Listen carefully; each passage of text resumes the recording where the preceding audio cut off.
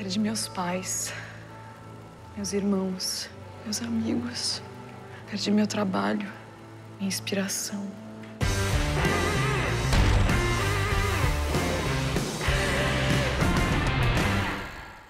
Ah, Dora do Mar. Você virou estrela e tentou fugir da magnífica. Por que, que você foi embora? O quê? Desistiu do cinema? Eu cansei de tirar a roupa.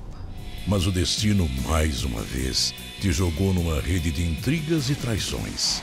Sua irmã voltou. Voltou pro Brasil. Voltou pra Magnífica. A segunda temporada ela é mais pesada do que a primeira. E a Dora, o destino dela foi talvez o, o mais trágico de todos os destinos dos personagens que a gente está seguindo, né? Você presa? Depende.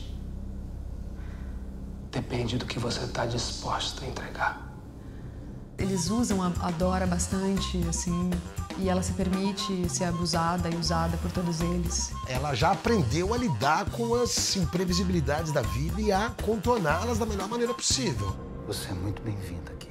As personagens que ela vai descascando, assim. Eu sou uma pessoa perigosa, Vicente. A bandida. Mulher lá, pelo amor de Deus, ela tá cheirando na porra do set. A drogada. Você é uma menina sensível, muito corajosa.